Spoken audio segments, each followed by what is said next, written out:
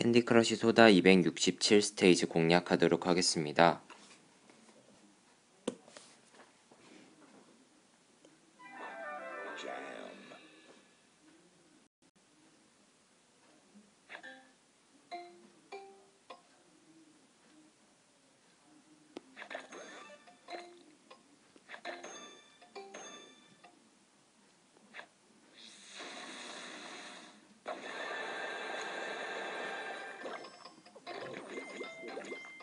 초반에는 중앙에 중앙에 있는 잼 물고기부터 죽일 방법을 생각하셔야 돼요.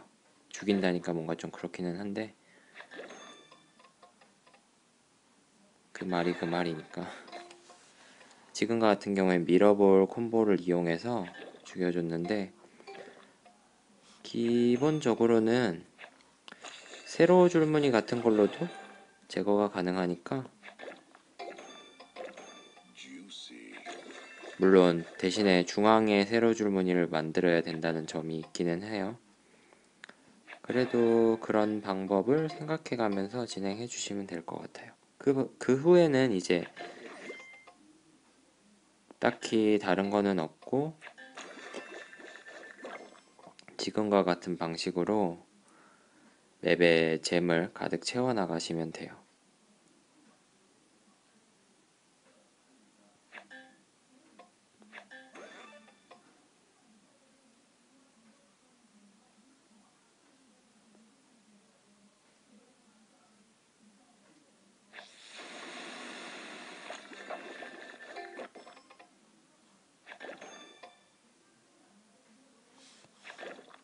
mhm mhm mhm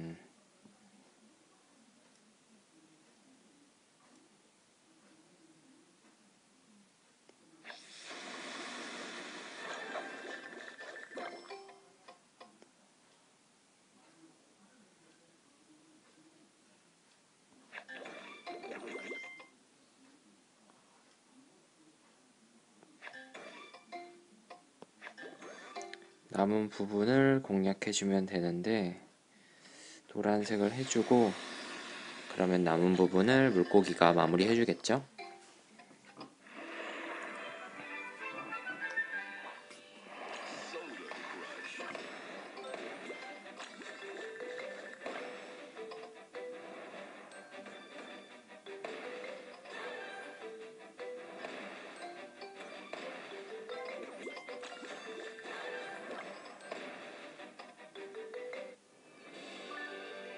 수고하셨습니다.